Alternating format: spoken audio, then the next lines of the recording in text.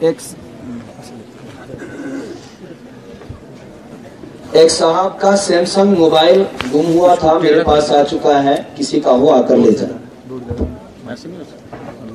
اچھا، تھوڑا دور رکھو یار، آپ منہ سے لگا دیں۔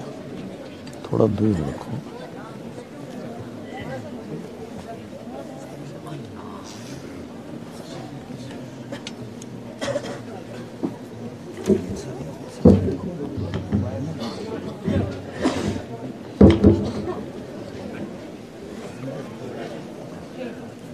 اللهم صل على محمد وعلى آل محمد كما صليت على إبراهيم وعلى آل إبراهيم إنك حميد مجيد.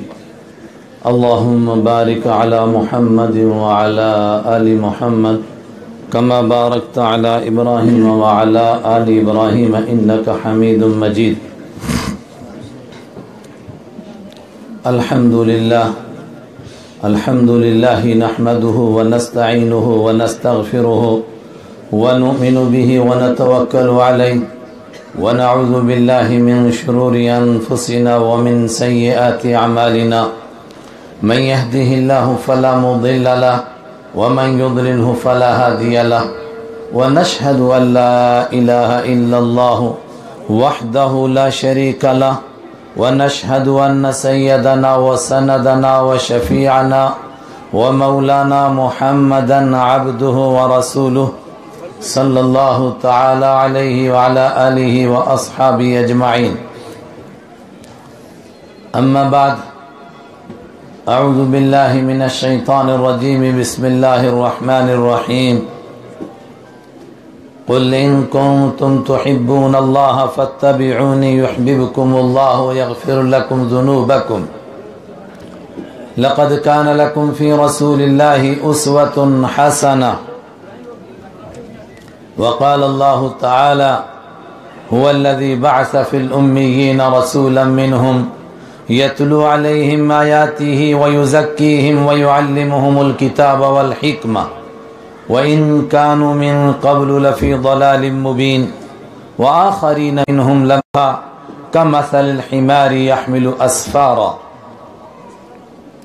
وقال النبي صلى الله عليه وسلم لا يؤمن أحدكم حتى أكون أحب إليه من والده وولده والناس أجمعين وقال النبي صلى الله عليه وسلم لا يؤمن أحدكم حتى يكون حواه تبعا لما جئت به. وقال النبي صلى الله عليه وسلم لا تزال طائفة من أمتي على الحق وفي رواية لا تزال طائفة من أمتي يقاتلون على الحق.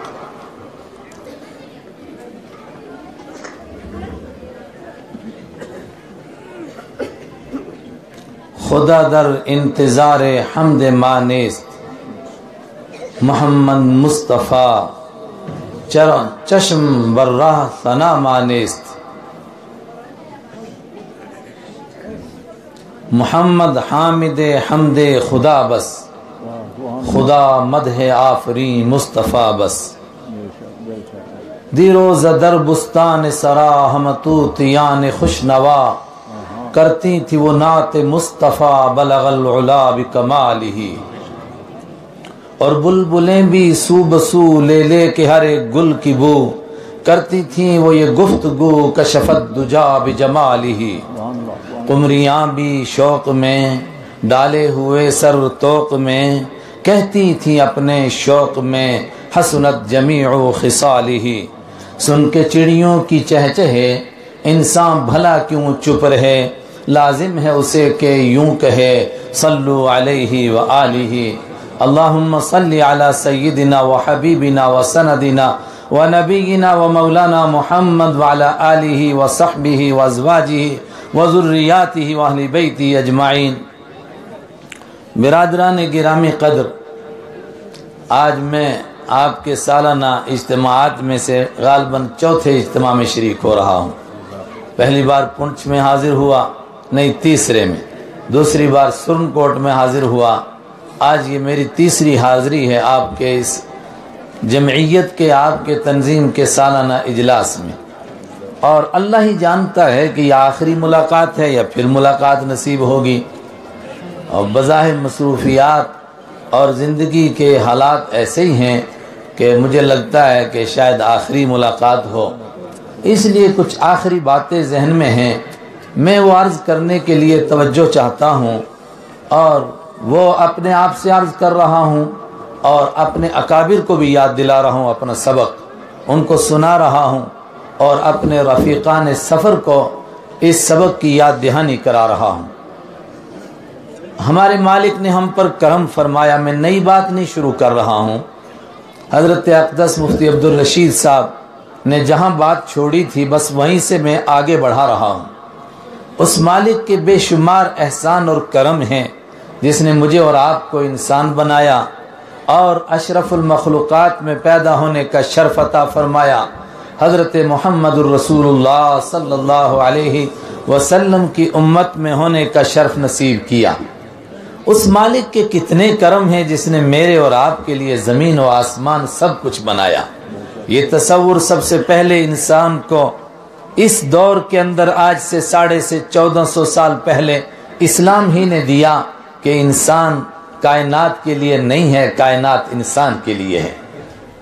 وہ تمہارا مالک ہے والذی خلق لکم ما فی الارض جمیعا۔ جس نے زمین کی ساری صلاحیتیں اور زمین کی ساری نعمتیں اور زمین کی ایک ایک چیز تمہارے لیے پیدا کی ہے۔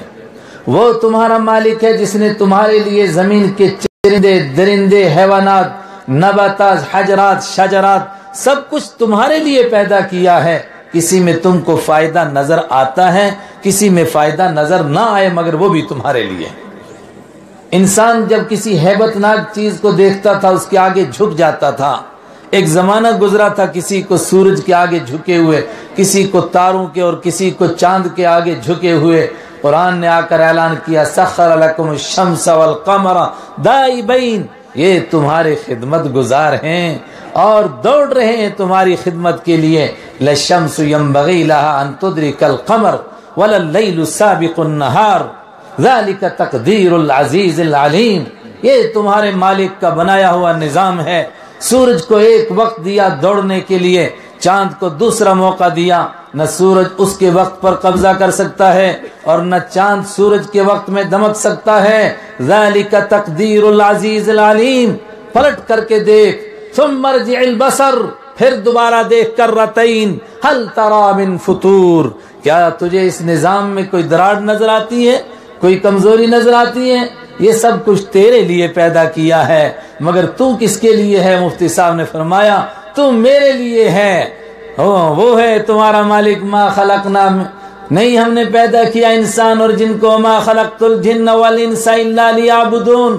تم کو اپنے لیے پیدا کیا ہے، یہ کائنات تمہارے لیے پیدا کی ہے۔ یہ اس مالک کا کرم ہے، اس کا احسان ہے، اس کا شکر ہے۔ لیکن اس کے ساتھ میں اس نے اسی پر بس نہیں کی اور انسانیت کو بھٹکتا ہوا نہیں چھوڑا۔ ایک تو اس نے ازل کے اندر انسانوں سے وعدہ لیا۔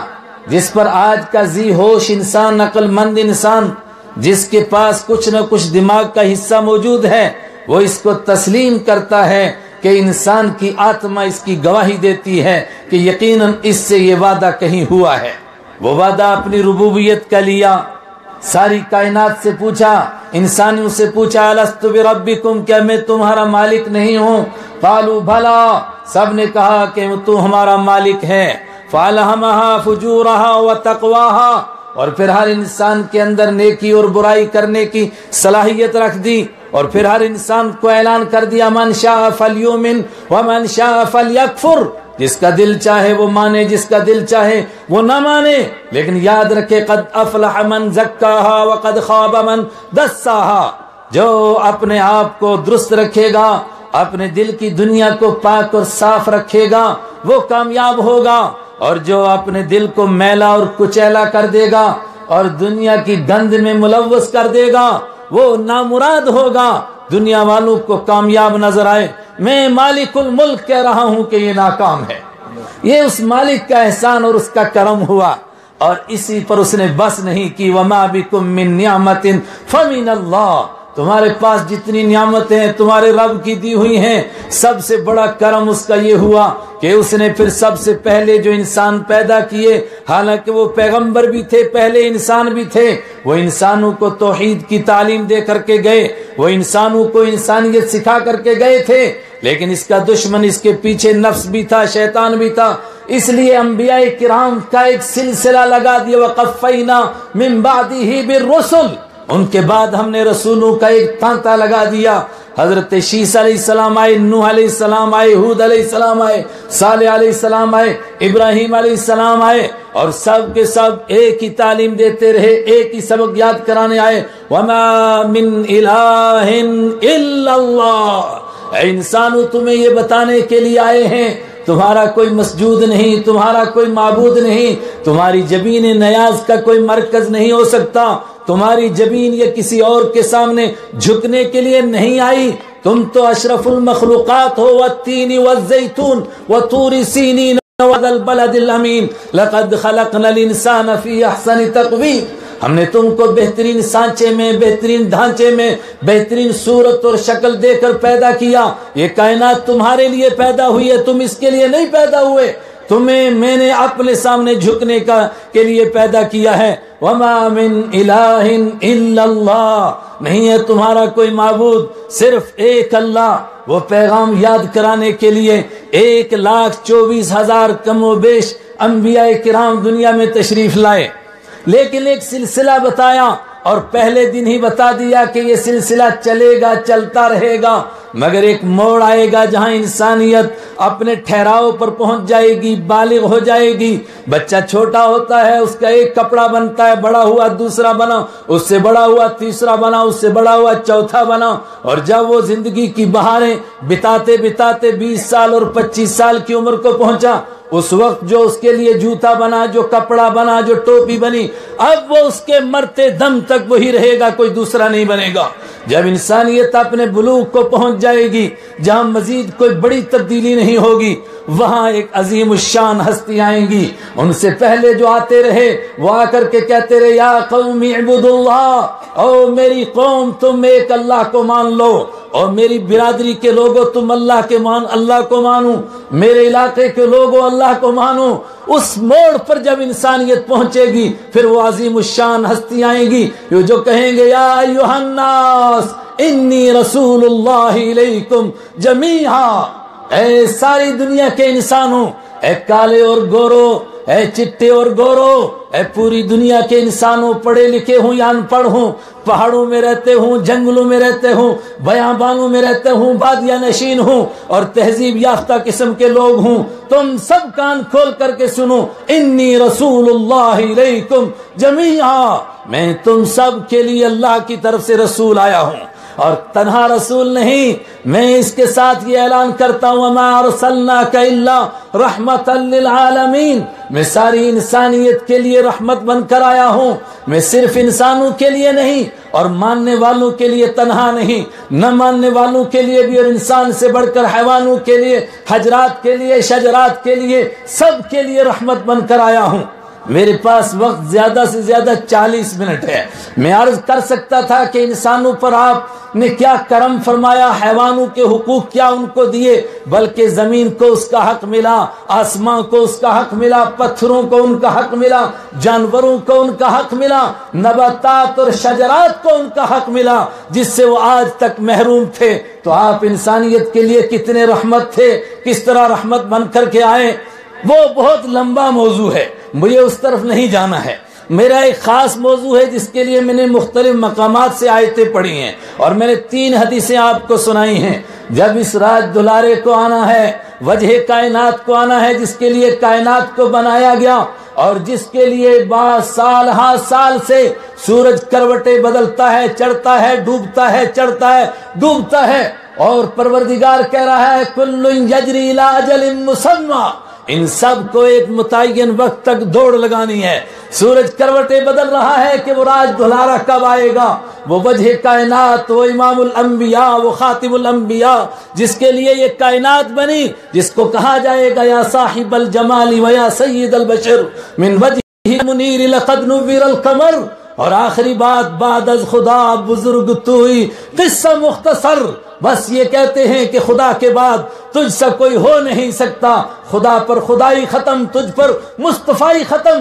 جب اس کو آنا ہے تو پروردگار نے کس کا انتخاب کیا؟ ایسے وقت میں جب وہ اس کا حبیب ہے، اس کا محبوب ہے اور اس کا کیسا محبوب ہے، اگر وہ عرض کروں، بات پھر لمبی ہو جائے گی۔ لا اقسم بهذا البلد وانت حل بهذا البلد ووالد وما ولد لقد خلقنا الانسان في كبد۔ میں رب العرش، میں رب العالمین قسم کھاتا ہوں۔ مکہ شہر کی سوال پیدا ہوا، کیوں کھاتا ہے؟ اس میں تیرا گھر ہے، اس میں صفا اور مروہ ہے، اس میں منا ہے، مزدلفہ ہے، عرفات ہے، اس لیے کھاتا ہے۔ فرمایا، نہیں نہیں، اس لیے کھاتا ہوں، انت حلم بہاد البلد۔ اس لیے کہ تیرے نبوت والے قدم اس خاک کو لگ گئے۔ ہیں یہ عرش سے بلند تر ہو گئی ہے، اس لیے اس کی قسم کھاتا ہوں۔ کو تھے جن کو کہا گیا کہ اے داود علیہ السلام، انا جعلنا کا خلیفتا فی الارض فحکم بین الناس بالحق. اے داود ہم نے تم کو خلیفہ بنایا۔ اب لوگوں کے درمیان انصاف کے ساتھ فیصلہ کرنا، ولا تتبی الہوا اور آپ خواہش کے پیچھے نہ چلنا۔ اور جب حبیب کبریا کی باری آئی، فرمایا، میں رب العالمین آپ کا وکیل صفائی بن کرا کہتا ہوں، والنجم اذا ہوا ما ضل صاحبكم وما غوا وما ينطق عن الهوى ان هو الا وحي يوحى۔ آپ کو کسی گواہی کی ضرورت نہیں، میں گواہی دے رہا ہوں کہ آپ خواہش نفس سے بول ہی نہیں سکتے۔ ہیں آپ کی زبان سے جو نکلے گا، وہ میری وہی ہی ہوگی، اس کے سوا کچھ نکل ہی نہیں سکتا ہے۔ وما ينطق عن ان هو الا وحي یوحا۔ آپ کا مرتبہ اور مقام کیا ہے؟ اس وقت یہ موضوع نہیں اور یہ موقع نہیں اور وقت کی تنگی ہے۔ کسی کو تور تک بلایا اور کہا، لقد را من آیات ربه الكبرى ہم نے اس کو کیوں بلایا تھا؟ اپنی قدرت کی کچھ نشانیاں دکھانی تھی اور کسی کو ہوا پر اڑایا اور کہا، سخر له الريح تجری بعمره رخان حيث اصاب۔ وہ دیکھو سلیمان علیہ السلام انجن کے بغیر جہاز کے اوپر بیٹھے ہوئے ہیں اور ہوا ان کی خادم ہے بھی امر ہی ان کے آرڈر سے ان کو لے کر کے اڑتی ہے۔ جہاں جانا چاہتے ہیں، وہاں لے کر کے جاتی ہیں۔ یہ سلیمان علیہ السلام کا مرتبہ اور مقام ہے۔ اور ابراہیم علیہ السلام کی باری آئی۔ ابو الانبیاء ہے نبیوں کے بعد ہیں۔ وَكَذَلِكَ نُرِي إِبْرَاهِيمَ مَلَكُوتَ السَّمَاوَاتِ وَالْأَرْضِ۔ لِيَكُونَ مِنَ الْمُوقِنِينَ۔ ہم نے کائنات کی بادشاہیاں دکھائیں، ابراہیم علیہ السلام کو آسمان کی طاقت دکھائی، زمین کی طاقت دکھائی، اپنی قدرت کے خزانے دکھائے۔ لِيَكُونَ مِنَ الْمُوقِنِينَ، تاکہ ایسا یقین حاصل ہو جائے کہ آگ میں کود پڑے تو کوئی خوف اور خطر نہ ہو اور ملک کو چھوڑ جائیں تو کوئی خوف اور خطر نہ ہو، بلکہ ان کے گھر والوں کو ایمان نصیب ہو جائے کہ بیت اللہ کے پاس سنگلاخ وادیوں میں اور چٹانوں کے بیچ میں جہاں درندوں کا بسیرا نہیں ہے، وہاں ابراہیم علیہ السلام چھوڑ کر کے جائیں۔ نہ پانی ہے ان کے پاس، نہ ان کے پاس کھانے کے لیے کچھ ہے، نہ رہنے کے لیے گھر ہے۔ اور جب ابراہیم علیہ السلام سے پوچھا جائے کہ کیوں ہمیں یہاں چھوڑا ہے کیا آپ کے رب نے آپ کو یہ حکم دیا ہے؟ اور وہ فرمائے کہ ہاں اسی لیے تو وہ کہیں، اذن لا یذیعنا اگر رب نے حکم دیا، کوئی پرواہ نہیں۔ یہ شان اور یہ مقام سیدنا ابراہیم علیہ السلام کا۔ فرمایا، نہیں، میرے محبوب، تیرا کوئی اور مقام ہے۔ سبحان الذي سخر لنا هذا۔ سبحان الذي وہ ہے پروردگار، سبحان الذي پاک ہے وہ ذات اسرا بعبده ليلا من المسجد الحرام الى المسجد الاقصى باركنا حوله لنريه من آياتنا الكبرى بڑی بڑی نشانیاں ان کو دکھانے کے لیے کس طرح ہم ان کو مسجد حرام سے مسجد اقسا لے گئے اور چند لمحوں میں کس طرح ہم نے آسمانوں کی سیر کرائی اور دنیا اپنی جگہ پر کس طرح جام ہو گئی، جہاں کھڑی تھی، وہاں کھڑی کی کھڑی رہ گئی۔ اس لیے کہ محبوب وہ اپنے محبوب سے، عبد اپنے معبود سے ملنے کے لیے جا رہے ہیں۔ حبیب کبریا رب العالمین سے ملنے کے لیے جا رہے ہیں۔ یہ مرتبہ اور مقام آپ کا ہے۔ تو آپ کو کہاں بھیجا جائے؟ کون سی سبزہ زار علاقہ؟ کون سی کیاریاں ہیں؟ اور کون سی وہ زمین کا خطہ ہے جو کائنات میں زمین کے اندر سب سے زیادہ خوش قسمت ہو؟ پر بہار ہو، سبزہ زار ہو اور لہلہاتے ہوئے وہاں پر، باغیں ہوں، باغ ہوں، بہاریں ہوں، بہتے ہوئے چشمے ہوں، جھرنے ہوں اور دریا ہوں۔ کون سا علاقہ ہو؟ فرمایا، نہیں نہیں، آپ کے لیے کچھ اور انتخاب ہو رہا ہے۔ آپ کے آنے سے ڈھائی ہزار سال پہلے سیدنا ابراہیم علیہ السلام کو حکم دیا گیا، میرا حبیب آ رہا ہے۔ شام سے پندرہ کلومیٹر دور سنگ لاکھ پہاڑیاں ہیں، چٹانیں ہیں، کالے پتھر ہیں، جن کے اندر کچھ پیدا ہی نہیں ہو سکتا ہے۔ وہاں جا کر کے ایک شہر بسا۔ شہر تو وہاں بستے ہیں، جہاں دریا ہوتے ہیں، جہاں چشمے ہوتے ہیں، جہاں پانی ہوتا ہے، وہاں شہر بسے گا، کہاں بسے گا؟ جا جا کر کے اپنے لختے جگر اسماعیل کو چھوڑ کر کے آ، اور ان کی والدہ کو چھوڑ کر کے آؤ۔ اس لیے کہ اب آخری پیمبر کے آنے کا انتظام ہو رہا ہے۔ اور ابراہیم علیہ السلام اپنے لخت جگر کو چھوڑ کر جاتے ہیں اور پھر آتے ہیں، پھر کچھ دنوں کے بعد جب یہ بستی بننے لگتی ہے تو ہاتھ اٹھاتے ہیں، رب جعل هذا بلدا آمنا وارزق اهله من الثمرات من آمن منهم بالله واليوم الاخر۔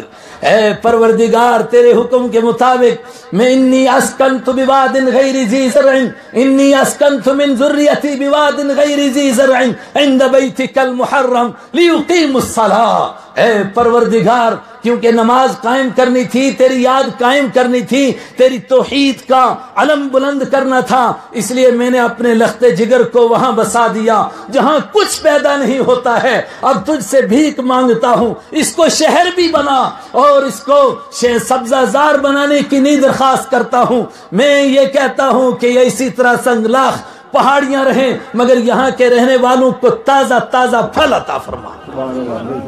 وجعل فدت من الناس تحویلیہم اور یہ شہر بنانا ہے، اس لیے لوگوں کے دلوں کو ادھر پلٹ دے کہ لوگوں کے دل لٹکے رہیں یہاں آنے کے لیے اور تڑپتا رہے ہر بندہ یہاں آنے کے لیے۔ اور یہاں کے رہنے والے تازہ پھل کھانے کے لیے کہیں نہ جائیں، ان کو یہاں تازہ پھل عطا فرما۔ تین ہزار سال پہلے اور بعض نے ڈھائی ہزار سال پہلے کا تخمینہ لگایا، شہر بسایا گیا وہ۔ اس شہر میں کیا خصوصیت تھی؟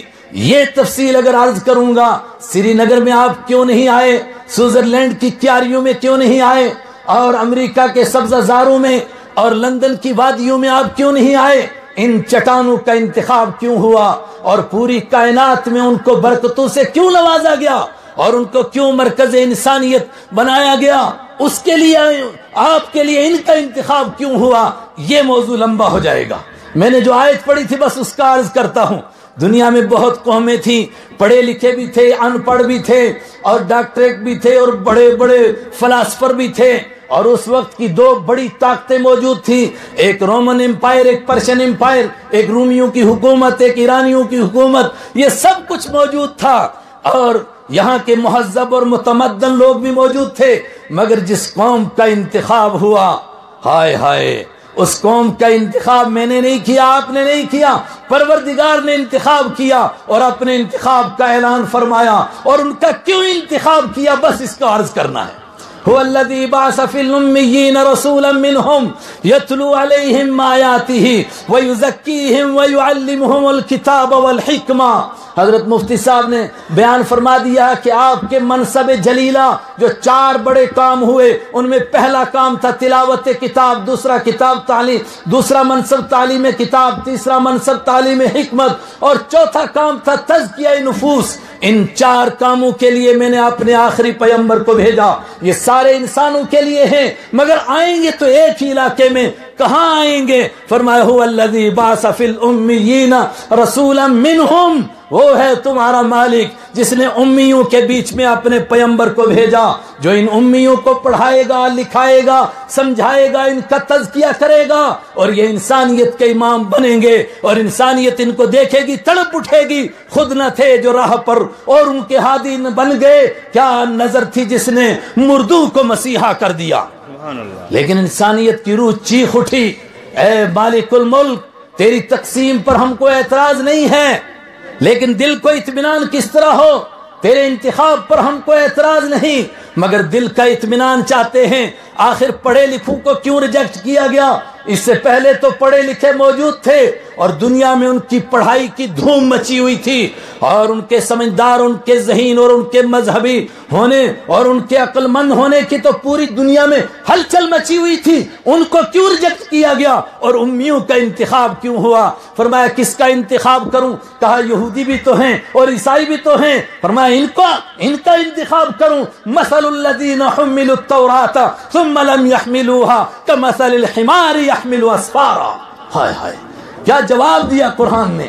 اور مجھے اور آپ کو اللہ ذوق دے قرآن پڑھنے کا بالکل الف میم سے لے کر والناس تک یہی انداز ہے قرآن کا۔ ایک آیت پڑھو، اس میں کچھ سوالات پیدا ہوتے ہیں، دوسری آیت اس کا جواب۔ دوسری آیت پڑھو، اس میں کچھ سوالات پیدا ہوتے۔ تیسری آیت میں اس کا جواب، کیوں امیوں کا انتخاب ہوا؟ ان پڑھوں کا کیوں ہوا؟ پڑھے لکھوں کو کیوں ریجیکٹ کیا گیا؟ فرمایا، کون پڑھے لکھے؟ کہا یہ یہودی، مثل الذین حملوا التوراۃ ثم لم يحملوها كمثل الحمار يحمل اسفارا۔ یہ یہودی جن پر پہلے دن سے ہی تورات کو لادا گیا تھا، انہوں نے قبول نہیں کیا تھا اس کو، ان کا حال تو اس گدے کا حال ہے جس کے اوپر کتابیں لدی ہوتی ہیں، مگر وہ اس سے فائدہ نہیں اٹھاتا ہے۔ ان کا کیا جرم ہے؟ کہا ان کا یہ چھوٹا قصور ہے کہ انہوں نے اپنے نبیوں کی سیرت کو بدل ڈالا۔ یکتبون الکتاب بایدیہم ثم یقولون هذا من عند اللہ۔ اپنے ہاتھ سے کتاب کو لکھتے ہیں اور پھر کہتے ہیں اللہ کی طرف سے ہے۔ یہ ان کا چھوٹا جرم ہے۔ یحرفون الکلم عن مواضعہ۔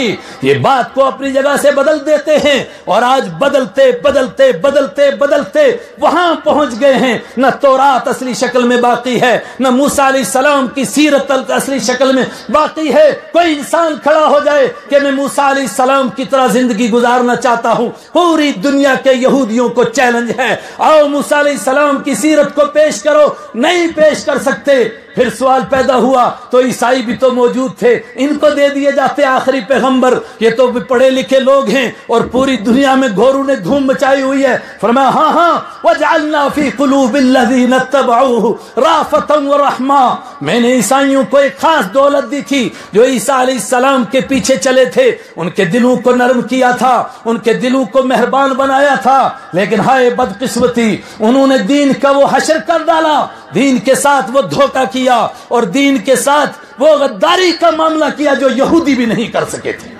وہ کیا دین کا معاملہ، کیا غداری کا معاملہ کیا؟ کا سور فاتحہ نہیں پڑھتے ہو؟ غیر المغضوب علیہم۔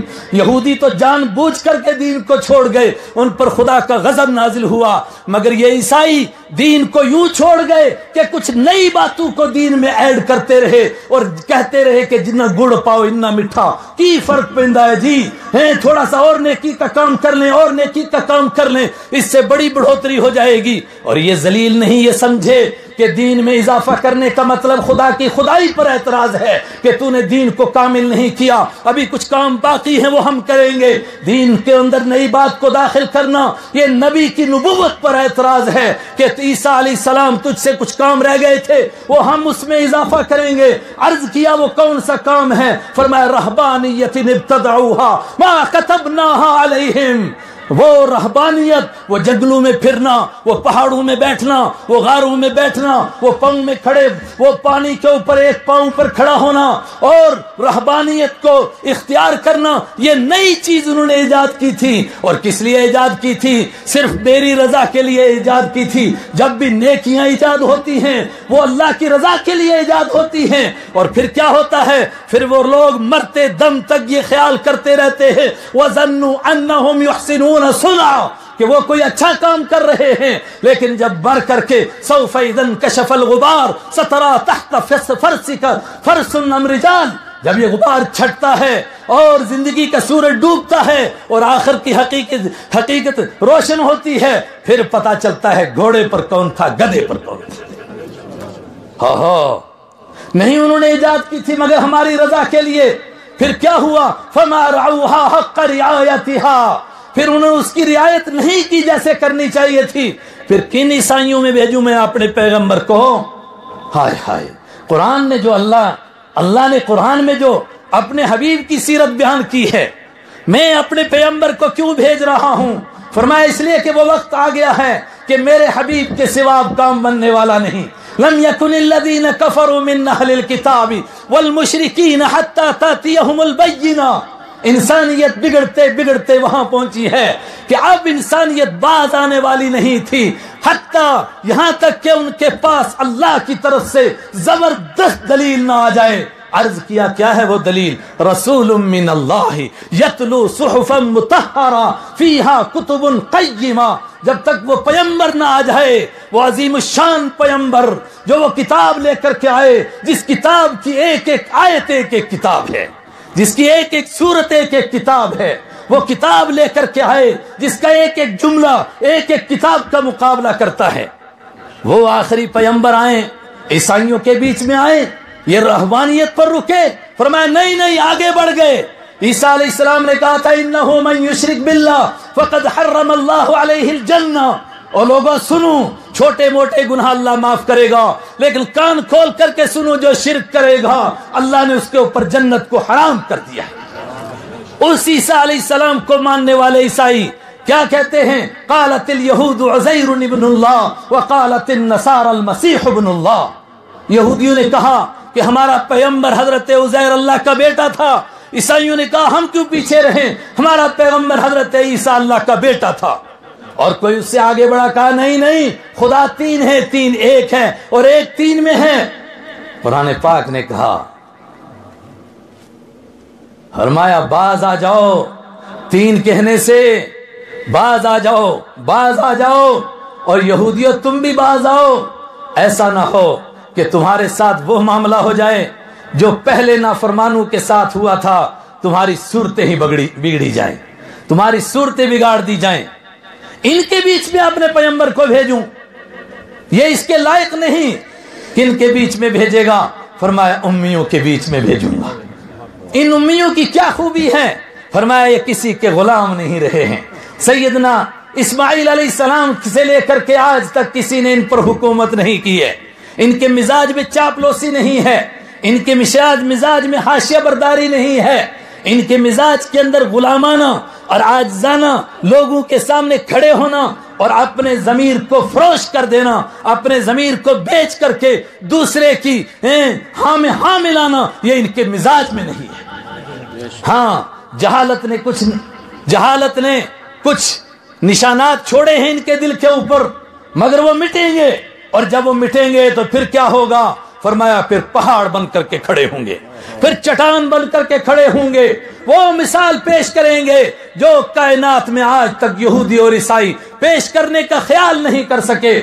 علماء بیٹھے ہیں۔ سورہ معدہ بہت بعد میں نازل ہوئی ہے اور غزوہ بدر کے اندر ایک جملہ کہا صحابہ نے مقداد ابن اسود رضی اللہ تعالیٰ عنہ اور سعد ابن زرارہ رضی اللہ تعالیٰ عنہ نے آج تک تاریخ نے اس کو محفوظ رکھا، قرآن نے اس کے اوپر تبصرہ بعد میں کیا اور انہوں نے وہ جملہ پہلے کہا۔ وہ کیا جملہ تھا؟ اللہ کے حبیب نے فرمایا، میں تم سے مشورہ چاہتا ہوں انصار۔ کیا کہنا چاہتے ہو؟ ہم نکلے تھے کسی اور مقصد سے، معاملہ کچھ اور پیش آ گیا۔ فرمایا، بڑھے چلیے بڑھے چلیے، آپ حکم دیں گے، آپ کے حکم پر آگ کے انگاروں میں چھلانگ لگا دیں گے۔ آپ حکم دیں گے، سمندر میں چھلانگیں لگا دیں گے۔ رب کعبہ کی قسم، ہم وہ یہودی نہیں ہیں جنہوں نے حضرت موسیٰ سے کہہ دیا تھا، اذهب انت وربك فقاتلا، انا ها هنا قاعدون۔ ہم وہ نہیں جنہوں نے کہا تھا، جا تو اور تیرا خدا لڑے۔ ہم یہاں بیٹھے ہوئے ہیں۔ ہم آپ کے دائیں، ہم آپ کے آگے، ہم آپ کے پیچھے، ہم آپ کی ہر جانب سے حفاظت کریں گے۔ او ہو یہاں تک کہ ہمارے جسموں کے ٹکڑے ہو جائیں گے، مگر کوئی آپ تک پہنچنے نہیں دیں گے۔ ہائے ان امیوں کو کیا سلیق نعرہ تکبیر۔ ہاتھ بلند کر کے ذرا زندہ دلی کا ثبوت دے۔ شان صحابہ عظمت صحابہ شان رسالت نعرہ تکبیر۔ میرے بھائیو درد دل کہنا چاہتا ہوں۔ اصل بات جو عرض کرنا چاہ رہا تھا آئی وہ بات توجہ چاہتا ہوں۔ ان امیوں کا انتخاب کیا۔ اور ان امیوں نے ام انسانیت کو وہ کر کے دکھایا جس کے لیے قیامت تک یہ زمین ترستی رہے گی۔ یہ آسمان کا چہرہ نہیں دیکھ سکا تھا وہ کارنامے۔ کوئی سوچ سکتا تھا کہ ایک بوڑھی کے جسم کو چیرا جائے گا اور وہ چٹان بن کر کھڑی رہے گی اور ابو جہل کی پوری ضروریت اس سے ایمان نہیں چھین سکے گی۔ ہائے ہائے، ان امیوں میں وہ پیدا ہوئے۔ وہ غار سور کو دیکھو، حبیب کبریا جا رہے ہیں۔ کبھی آگے جاتے ہیں، کبھی پیچھے آتے ہیں۔ پوچھا گیا ابو بکر آگے کیوں جاتا ہے؟ کبھی خیال آتا ہے آگے سے کوئی حملہ کرے گا۔ میں چاہتا ہوں میرا سینہ پیش ہو جائے۔ کوئی آپ پر حملہ آور نہ ہو۔ پیچھے جاتا ہوں، کوئی پیچھے سے حملہ نہ کر دے۔ اور کبھی ریت دیکھتے ہیں، کہتے فدا کا ابھی و امی، میرے ماں باپ تجھ پر قربان ہوں، تو میرے کندھوں پر سوار ہو جا۔ کہیں تیرے پاؤں کے کوئی نشان نہ دیکھ لے۔ اپنی تھکاوٹ کا کوئی خیال نہیں اور غار سور میں پہنچتے ہیں، تصور میں نہیں آتا ہے کہ مجھے کوئی چیز ڈس لے گی۔ پہلے کہتے ہیں، آپ رکیے آپ رکیے میں ذرا اس کو دیکھ لوں پہلے۔ اگر کوئی ڈسنے والا ہو، مجھ کو ڈس لے۔ اور جب اس کو صاف کرتے ہیں اور ایک سوراخ کو اپنی ایڑی سے بند کرتے ہیں، ہائے ہائے، اور اس سے سانپ نکل کر کے ڈستا ہے اور ذرا سی جسم میں جنبش نہیں آنے دیتے۔ فدا کا ابھی و امی، ہمارے ماں باپ ان پر قربان ہو جائیں۔ کس طرح کس طرح اطمینان سے وہ سانپ ڈس رہا ہے، مگر آپ اطمینان سے بیٹھے ہیں۔ یہاں تک کہ آنسو کی لڑیاں لگتی ہیں اور رخسارے اقصد اقصد پر گرتی ہیں۔ اس سے آپ بیدار ہوتے ہیں۔ آپ پوچھتے ہیں ماں صابق یا ابا بکر؟ ابو بکر، تجھے کیا ہوا؟ کہا، کسی چیز نے ڈس لیا ہے۔ آپ لعاب دہن لگاتے ہیں۔ ہائے ہائے، اللہ کو اس پر ترس آیا۔ اللہ نے ان کی صحابیت کی قسم کھائی۔ اذ ہما فی الغار، اذ یقول لصاحبہ لصاحبہ لا تحزن۔ وہ جب دو دو میں سے دوسرے تھے، وہ جو میرے نبی کے ثانی تھے، ان امیوں میں پھر نبی کے ثانی پیدا ہوں گے۔ غزوات میں آپ کے ثانی، کردار میں آپ کے ثانی، نہیں، ہم سنتوں پر عمل کرنے میں آپ کے ثانی، غار میں آپ کے پیچھے پیچھے اور مسلح میں آپ کے ثانی، یہ امیوں میں پیدا ہوں گے۔ ہائے ہائے، امیوں میں پھر ان کو کھڑا کروں گا۔ وہ دیکھو حضرت سعد، حضرت طلحہ رضی اللہ تعالیٰ عنہ کو غزب غزوہ احد ہیں۔ چاروں طرف سے تیروں کی بارش ہو رہی ہے۔ کوئی اس کا تصور کر سکتا ہے۔ ابو طلحہ کبھی سینہ سامنے کر کے کھڑے ہوتے ہیں کہ میرا سینہ چھلی ہو جائے۔ میرے حبیب کو، میرے محبوب کو، حبیب کبریا کو کوئی زنگ نہ پہنچے، کوئی تکلیف نہ پہنچے۔ اور پھر پیٹ کر کے ان کی طرف چٹان بن جاتے ہیں۔ ان کی پیٹ پر مسلسل تیر برستے ہیں۔ ہائے ہائے، خودی کو کر بلند اتنا کہ ہر تقدیر سے پہلے خدا بندے سے خود پوچھے بتا تیری رضا کیا ہے۔ یہ مقام حاصل ہوا حضرت طلحہ رضی اللہ تعالیٰ عنہ کو۔ ساری کائنات کہتی ہے، ہمارے ماں باپ، ہمارے استاذ کے ماں باپ، ہمارے اساتذہ کی عزتیں، ہمارے پیر و مرشد کی عزتیں، سب کی سب آپ کے اوپر آقا قربان ہو جائیں۔ اور میرے آقا فرما رہے ہیں، فدا کا ابھی و امی، علمی یا طلحہ طلحہ تو مار کافروں کو، میرے ماں باپ تیرے اوپر قربان ہو جائیں۔ ہائے ہائے۔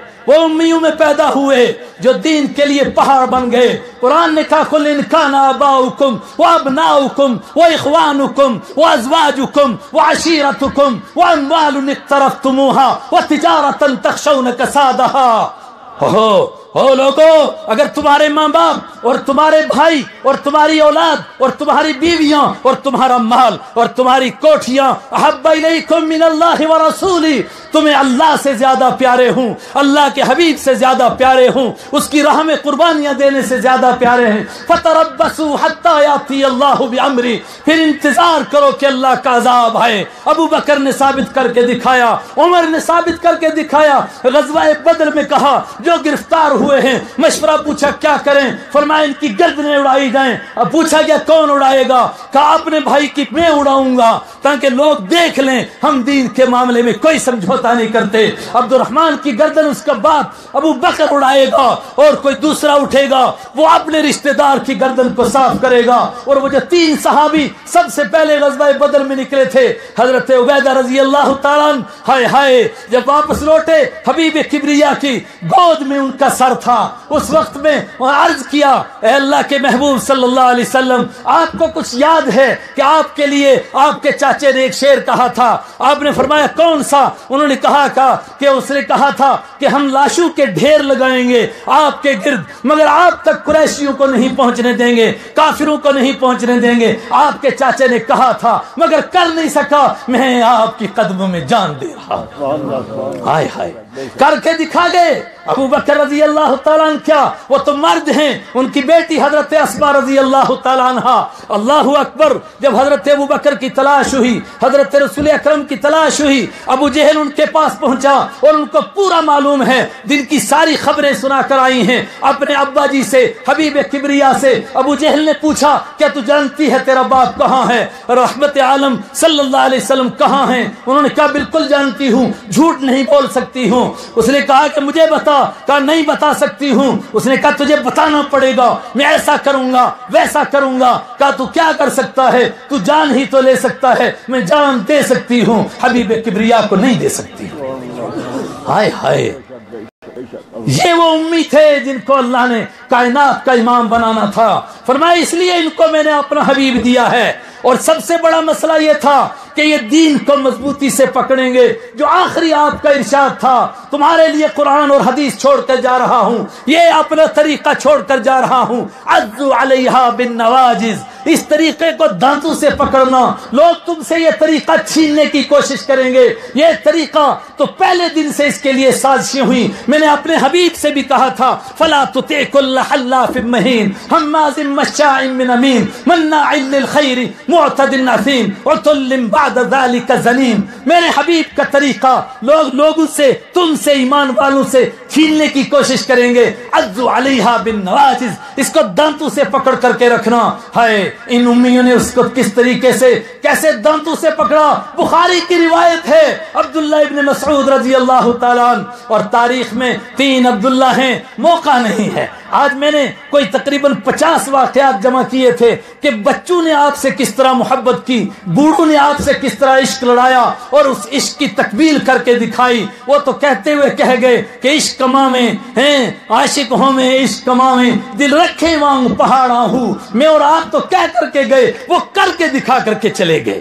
یہ قدم قدم بلائیں وہ سواد کوئے جانا، وہ یہیں سے لوٹ جائے، جسے زندگی ہو پیاری، میں اور آپ تو کہتے رہے، مگر وہ کر کے دکھا کے چلے گئے۔ مگر وقت اس کا ساتھ نہیں دیتا ہے، وقت تنگ ہے، اس لیے میں آگے بڑھتا ہوں دوسرے دور کے لیے کہ صحابہ نے اس دین کو کس طرح پکڑا۔ حضرت ابو بکر صدیق اٹھے اور لوگوں نے ان کو نرمی کی، نرم، نرمی کا مشورہ دیا کہ حضرت تھوڑے نرم رہیں، تھوڑے نرم رہیں اور فلاں کام کے لیے اور فلاں کام کے لیے جھگڑا نہ کریں۔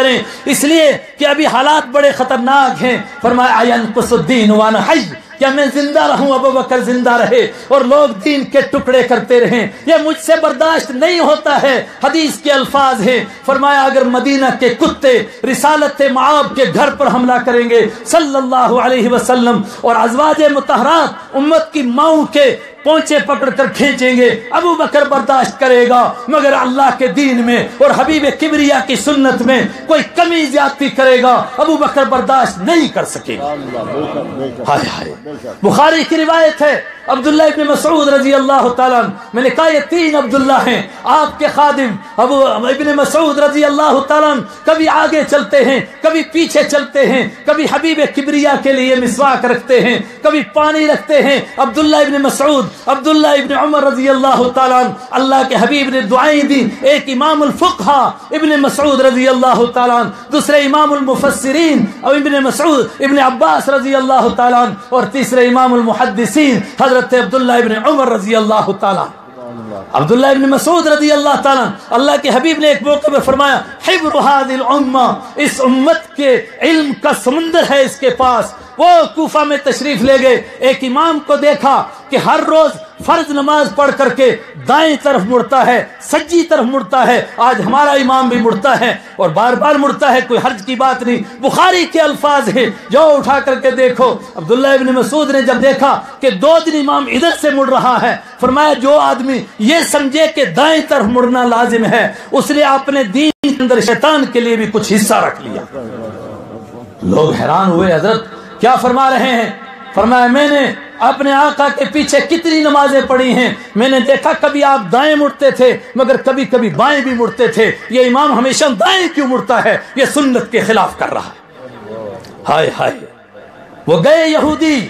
جو اپنی طرف سے یحرفون الکلمہ عن مواضعہ یہ امی پہاڑ بن کر کے کھڑے ہوئے، چٹان بن کر کے کھڑے ہو گئے۔ عید کا دن ہے، ایک آدمی جلدی آ گیا ذرا صوفی مزاج ہے، نماز پڑھنے کھڑا ہوا، پیچھے سے حضرت علی آئے اور پکڑ کر کے یوں زور سے جھٹکا دیا، وہ جا کر کے گرا، وہ اٹھا، اس نے کہا، میں نے کس کی مخالفت کی؟ آپ نے میری نماز بھی توڑی اور نماز میں مجھے گرایا، آپ نے تو گستاخی کی حد کر دی، یہ کیا کام کیا ہے؟ فرمایا، تو نے گستاخی کی حد کی ہے تو نے کس کی مخالفت کی؟ تو نے اس کی مخالفت کی جس کی رضا رب چاہتا ہے۔ وہ محمد مصطفیٰ صلی اللہ علیہ وسلم ہے میں نے کتنی عید کی نمازیں پڑھی۔ میرے حبیب نے، میرے آقا نے یہاں پر کبھی بھی عید سے پہلے کوئی نفل نہیں پڑے تو کون ہوتا ہے نفل پڑھنے والا؟ نہیں ہے موقع اس کے لیے کہ میں مزید اس کی تفصیل میں بھی جاؤں۔ ایک اور حدیث سنائی تھی۔ کیا تھا؟ لا یکون تم میں سے کوئی مسلمان نہیں ہو سکتا۔ یہاں تک کہ مجھ سے، ماں باپ سے زیادہ، اولاد سے زیادہ، ساری کائنات سے زیادہ محبت نہ کر کے دکھائے۔ عرض کیا کیا ہے محبت کا مطلب؟ فرمایا، لا یؤمن احدکم حتی یکون ہواہ تبعا لما جیت به۔ اس وقت تک کوئی مومن نہیں ہو سکتا۔ جب تک کہ اس کے ذہن کی سوچ، اس دین کے تابع نہ ہو جائے، جس کو میں لے کر کے آیا ہوں۔ ایک اور ارشاد عرض کیا تھا خطبے میں، لا تزال طائفة من امتی علی الحق۔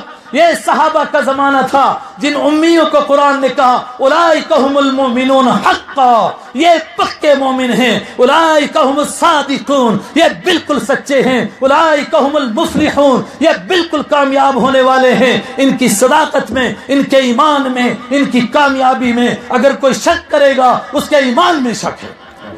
تو کیا یہ سلسلہ اس طرح دین کے ساتھ ڈٹ جانے کا اور دین پر اپنے آپ کو قربان کرنے کا یہ انہی پر ختم ہو جائے گا۔ فرمایا نہیں نہیں قیامت تک آن کھڑے کروں گا ان کو۔ میں رب کائنات کہہ رہا ہوں، انا نحن نزلنا الذکر و انا له لحافظون۔ میں نے قرآن کو نازل کیا ہے اور میں اس کی حفاظت کروں گا۔ ربا کیسے حفاظت کرے گا؟ فرمایا، میرے سارے کام اسباب کے تحت ہوتے ہیں۔ اس کے الفاظ کی حفاظت کے لیے قاریوں کو پیدا کروں گا۔ اس کو یاد رکھنے کے لیے حافظوں کو پیدا کروں گا۔ اس کے معنی کے لیے مفسرین کو پیدا کروں گا۔ اس کی تشریح کے لیے محدثین کو پیدا کروں گا اور قیامت تک ایک طبقہ ہوگا۔ یہاں تک کہ جب دجال دجال اکبر آئے گا، اس وقت بھی وہ طبقہ ہوگا جو صحیح طور پر سن سنتوں پر قائم ہوگا اور اس حدیث کا ترجمان ہوگا کہ اس کو عزو علیہ بن نواجز اس دین کو دنتوں سے پکڑ کر رکھو۔ کوئی تم سے چھین نہ لے۔ یہ تیرہ صدی گزر چکی ہیں۔ اب تری کا دور ہے۔ پوری دنیا کے اوپر گورو کا پرچم لے رہا رہا ہے اور وہ کہہ رہے ہیں کہ ہماری حکومت میں کبھی سورج نہیں ڈوبتا ہے۔ اس وقت میں پروردگار نے ایک طائفہ منصورہ کو کھڑا کیا، ایک گروہ کو کھڑا کیا۔ الفاظ بھی نہیں، وقت بھی نہیں۔ میں ادھار لیتا ہوں۔ سید عطا اللہ شاہ بخاری رحمت اللہ علیہ سے اس نے کہا، جب میں اس طائفہ پر غور کرتا ہوں، مجھے ایسا لگتا ہے کہ صحابہ کی روحوں کا ایک قافلہ جا رہا تھا۔ ان روحوں میں سے کچھ کو روک کے رکھ لیا گیا اور کہا، ان کو تیرہ صدیوں کے بعد پیدا کروں گا۔ اس وقت ان کی ضرورت ہوگی، اس وقت یہ پہاڑ بن کر کے کھڑے ہوں گے۔ کوئی گورو کے مقابلے میں کھڑا ہوگا اور اس کو وہاں گاڑ دے گا، جہاں سے وہ اٹھا ہوگا۔ وہ فقیر درویش کھڑا ہوگا اور قرآن کی آیت کا تفسیر کرے گا۔ وہ میں توکل اللہ فہو حسبہ۔ جو اللہ پر بھروسہ کر لے، اللہ اس کے لیے کافی ہو جاتا ہے۔ جب گورے کہیں گے کہ جب جس کے پاس کھیت ہوگا، اس کو روٹی ملے گی، جس کے پاس بھینس ہوگی، اس کو دودھ ملے گا۔ جس کے پاس باغ ہوگا، اس کو پھل ملیں گے، اس وقت میں وہ درویش اعلان کرے گا، ومن یتق اللہ یجعل له مخرجا، جو اللہ سے ڈرے گا، اللہ اس کے لیے مصیبتوں سے نکلنے کے راستے بنائے گا ويرزقه من حيث لا يحتسب، اور اس کو وہ دے گا، جس کا اس کا گمان بھی نہیں ہوگا۔ وہ درویش اٹھا، اس نے سب سے پہلے دارالعلوم کا بنیاد رکھی اور اس کے چھ، اس کے آٹھ اصول بنائے۔ پہلا اصول یہ بنایا، یہ ادارہ اللہ کے بھروسے پر چلے گا۔ تاکہ انسانوں کو بتایا جائے کہ انبیاء کرام یہی سبق پڑھا کر گئے تھے۔ لا الہ الا اللہ، کوئی معبود نہیں، جس کو وہ دے اس سے کوئی لے نہیں سکتا، جس کو وہ نہ دے اس کو کوئی دے نہیں سکتا۔ یہ طائفہ اٹھا، اس نے سنتوں کو سینے سے لگایا اور دانتوں سے پکڑا۔ واللہ واللہ، دانتوں سے پکڑا۔ وہ مجدد الفسانی، جس نے ایک انقلاب بپا کیا ایک ہزار سال کے بعد۔ کیا اہمیت تھی اس کے نزدیک سنتوں کو پکڑنے کی؟ ایک مرید سے کہا کہ ایک آدمی ساری رات کھڑا رہتا ہے اور نفلیں پڑھتا ہے۔ فرمایا، رب کعبہ کی قسم، اس کا مقام نہیں پا سکے گا۔ جو دوپہر کو تھوڑی دیر سنت سمجھ کر کے سو جاتا ہے اور کیلولہ کرتا ہے۔ دونوں ہاتھ بلند کر کے نعرہ تکبیر۔ اکابرین امت، قاسم العلوم والخیرات، علامہ قاسم نانوتوی۔ حضرت مولانا محمود الحسن گنگوہی حضرت مولانا اشرف علی تھانوی۔ علماء دیوبند بلند آواز سے علماء حق علماء دیوبند تنظیم علماء اہل سنت والجماعت محسن قوم و ملت حضرت مولانا غلام قادر صاحب نعرہ تکبیر شان رسالت یہ طبقہ کھڑا ہوا، یہ طائفہ منصورہ کھڑا کیا گیا۔ میں نہیں تفصیل میں جا سکتا اور وقت بھی میرا پورا ہوا چاہتا ہے، لیکن میرے سامنے اسلاف کے کردار کا ایک ٹھاٹھے مارتا سمندر ہے۔ ہائے ہائے، کیا عشق عطا کیا تھا؟ حضرت گنگوہی کے پاس کوئی آیا کپڑا لے کر کے کہا کہ یہ مدینہ سے لایا ہوں۔ دوسرے کسی نے کہا، حضرت، مدینہ میں کوئی کپڑے نہیں بنتے ہیں۔ یہ تو باہر کی فیکٹریوں میں بن کر کے جاتے ہیں اور مدینہ کے نام پر لا کر کے لوگ بھیجتے ہیں حاجی لوگ اور دھوکہ دیتے ہیں آپ کو۔ فرمایا، رب کعبہ کی قسم، جس کو مدینہ کی ہوا لگ گئی ہے، اس کے مقابلے میں دنیا کا کوئی کپڑا نہیں ہو سکتا ہے۔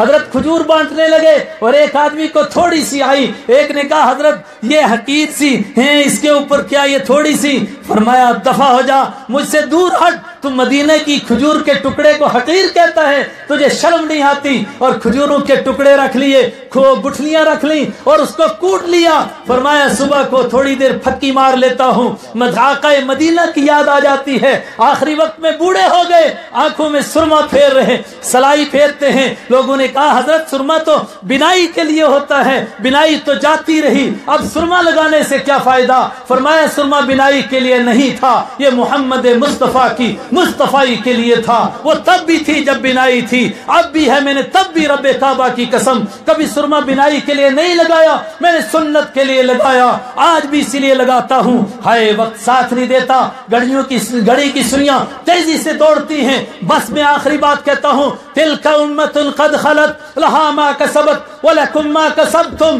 ولا تسألون عما كانوا يعملون۔ او میری جماعت کے ساتھیوں میں آج صبح سے یہ بار بار کہہ رہا ہوں اور تیسری مرتبہ آپ سے کہہ رہا ہوں۔ اپنے اکابر کی موجودگی میں کہتا ہوں اور اس سہارے مجمع سے کہہ رہا ہوں۔ قرآن نے کہا، یہودی کہتے تھے کہ ہمارے بڑے بہت بڑے تھے، ہم پیروں اور پیغمبروں کی اولاد ہیں۔ قرآن نے کہا، جھوٹے ہو تل امت قد خلت لہا ما کسبت ولکم ما کسبتم۔ وہ ایک جماعت تھی انبیاء کی، وہ ایک جماعت تھی بزرگوں کی، وہ ایک جماعت تھی ولیوں کی۔ وہ گزر چکی ہے۔ لہا ما کسبت، ولکم ما کسبتم۔ ان کو وہ ملے گا جو انہوں نے کمایا۔ تم کو وہ ملے گا جو تم کو، تم نے کمایا۔ میرے ساتھیوں آج کمزوری یہی ہے۔ ہم کہتے قاسم نونوت بھی ایسے عاشق رسول تھے کہ مدینہ میں جوتی نہیں لگائی اور پاؤں زخمی سے تربت تر ہو گئے، زخموں سے تربت تر ہو گئے۔ لیکن فرمایا، نہیں، میرا دل نہیں مانتا ہے۔ کہ میرے حبیب کے جہاں مقدس پاؤں لگے ہوں، وہاں قاسم کا جوتا لگے، میں یہ برداشت نہیں کر سکتا ہوں۔ لیکن آج ہمارا عمل ہمارے،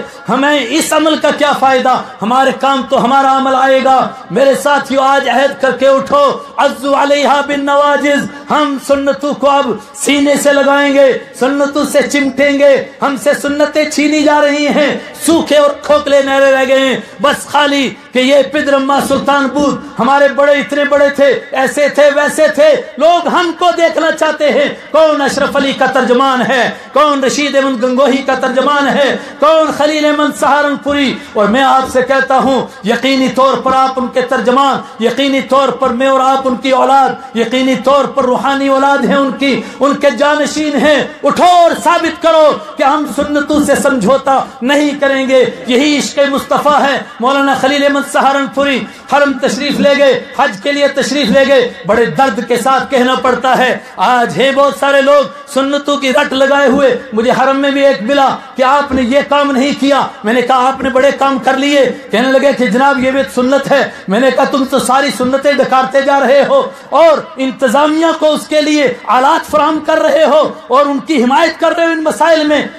سنت تھی۔ آٹھویں ذی الحجہ کو سورج نکلنے، صبح کے بعد مکہ سے نکلنا، حاجیوں کو رات کو نکالا جا رہا ہے۔ وہ تم تماشا دیکھتے ہو، تمہیں مولوی کہتے لوگ، اور پھر سنت ہے کہ سورج کی شعائیں دیکھ کر کے مینا سے آدمی عرفات نکلے، لوگوں کو رات کو نکالا جاتا ہے، اور تم تماشا دیکھتے ہو، میرے آقا کی سنتیں ذبح کی جا رہی ہیں، تم تماشا دیکھ رہے ہو۔ سنت ہے کہ مزدلفہ میں لوگ آئیں اور رات کو یہاں ٹھہریں اور واجب ہے چاروں اماموں کے نزدیک اور ان کے نزدیک بھی واجب تھا کہ مزدلفہ میں غلط میں فجر کی نماز پڑھیں اور اس کے بعد سورج نکلنے تک یہاں دعائیں کریں اور اس کے بعد یہاں سے کوچ کریں۔ لوگوں کو رات کو نکالا جا رہا ہے اور تم اس کا تماشا دیکھ رہے ہو۔ میں اس کا، میں اس کا روحانی بیٹا ہوں۔ جو مینا میں تھے، حضرت مولانا خلیل من سہارنپوری رحمت اللہ علیہ، وہ اونٹوں کا زمانہ تھا۔ ابھی گاڑی نہیں آئی تھی۔ اس وقت کے جس جس کو معلم کہتے، اس وقت میں متوف کہتے تھے، وہ آیا اور ابھی سحری کو حضرت دعا کر رہے تھے اور مشغول تھے اپنے مالک کے ساتھ۔ اس نے کہا، حضرت، جلدی چلیے جلدی چلیے، پھر عرفات میں جگہ نہیں ملے گی، اونٹ والے تیار ہو گئے ہیں۔ فرمایا، یہاں سے سورج کی شعائیں دیکھنے کے بعد سنت ہے نکلنا۔ تو کون آیا بیچ میں؟ عبادت میں خلل ڈالنے والا۔ اس نے کہا، اونٹ والے جا چکے ہوں گے، پھر آپ کیا کرو گے؟ فرمایا، جو میرا رب چاہے گا وہ کروں گا۔ میں سنت کو نہیں چھوڑ سکتا ہوں۔ اس نے کہا عجیب مولوی ہیں آپ؟ آپ کا فرض چھوٹ جائے گا، عرفات میں ٹھہرنا۔ تو کیا آپ فرض کے سنت کی وجہ سے فرض کو قربان کروں گا؟ کہا تو پہ کوئی میرا پیر اور مرشد اور میرا استاد نہیں ہے کہ تم مجھے قرآن اور حدیث سمجھائے، تم میرا ملازم ہے، میں نے تجھے اس کے لیے پیسے دیے ہیں، قرآن اور حدیث میں تجھے سمجھاؤں گا۔ ہم فرضوں کی وجہ سے نہ سنتوں کو ذبح کریں گے، نہ سنتوں کی وجہ سے فرضوں کو چھوڑیں گے۔ ہم ہر ایک فرض کو سنت کے مطابق ادا کریں گے۔ اگر سنت کے مطابق ادا ہوگا، وہ فرض اللہ کے ہاں قبول ہوگا۔ اور جو سنت کے خلاف ہوگا، خلاف پیمبر کسیرا گزیر کہ ہرگز بمنزل نہ خواہد رسید۔ میرے ساتھیوں میں نے درد دل سامنے رکھا اور آپ کے لیے نہیں، اپنے لیے رکھا۔ لوگ ہم کو دیکھنا چاہتے ہیں، یہ کتنے سنتوں پر قائم ہیں۔ اور الحمدللہ الحمدللہ الحمدللہ، یہ امت بانج نہیں ہے۔ آج بھی امت کی کوک سے الحمدللہ۔ وہ جوان پیدا ہوتے ہیں۔ ایک جوان کو انٹرویو دینا تھا۔ بڑی پوسٹ کے لیے میرے سامنے کی بات ہے۔ داڑھی لمبی تھی، اس کے باپ نے پہلے اس کی تھوڑی پکڑی۔ کہ آج داڑھی کٹا دے، ہیں، اور عجیب الفاظ سے ہماری زبان میں کہتا ہے، اپنوں کہا ہے اب پہ بد تو جائے وہ۔ اس نے کہا، نہیں نہیں، ایسا نہیں ہو سکتا۔ اس کے بعد اس کے پیر پکڑ لیے اس سنت کو ذبح کرنے کے لیے۔ اس نے کہا، میں ایسی نوکری پر تھوکتا ہوں جو مجھے سنتیں ذبح کر کے ملتی ہے۔ اور باپ کو، ہیں، باپ نے اس کو چڑھایا تھا۔ اس کی وجہ سے اتنا بڑا پگڑ بھی باندھ کر گیا، اور وہ بھی کالا باندھ کر کے گیا۔ اور اللہ نے کرم کیا، وہ پگڑی ہی اس کی نوکری کا ذریعہ بن گئی۔ اس سے اس کے مسئلے کے بارے میں بات ہونے تک بات ہی نہیں آئی۔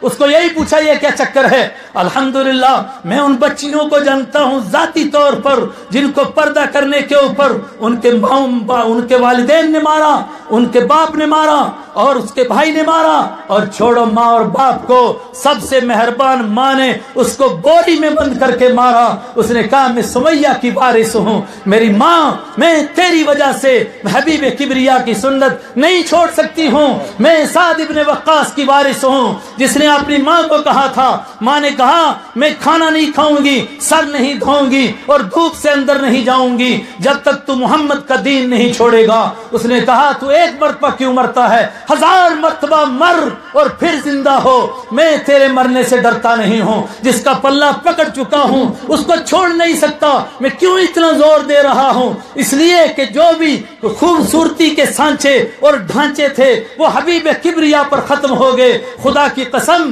او رخ مصطفیٰ وہ آئینہ ہے۔ اب ایسا آئینہ نہ ہمارے خیال میں آ سکتا اور بخاری کے الفاظ میں کہیے کہ نہ دکان آئینہ ساز میں، پروردگار نے وہ سانچے توڑ دیے جن سے مصطفیٰ کو بنایا گیا تھا۔ اب وہ سانچے باقی نہیں، اب وہ خوبصورت لگے گا جس کا چہرہ محمد مصطفیٰ کی طرف ہو طرح ہوگا۔ وہ اچھا لگے گا جس کی زندگی ان کی طرح ہوگی۔ اور جو ان سے ہٹ کر کہے گا کہ یہ میرا کلچر ہے، یہ میری تہذیب ہے میں کسی اور طریقے پر چل رہا ہوں، وہ اس قول کی مخالفت کر رہا ہے جو آخری حج پر آپ نے فرمایا تھا، تحت قدمی یہادا۔ میں نے تمام تہذیبوں کو، تمدنوں کو اور دور جہالت کے تمام رسم و رواج کو اپنے پاؤں کے نیچے مسل دیا ہے۔ پھر عرض کرتا ہوں کہیں ہم کہ فلاں بدت کر رہا ہے۔ مفتی صاحب نے کہا، علمی تحقیق پیش کرے، مگر ضرورت اس کی ہے کہ ہم سنت پیش کریں۔ اس لیے کہ ہم سے قبر میں ہمارا سوال ہوگا۔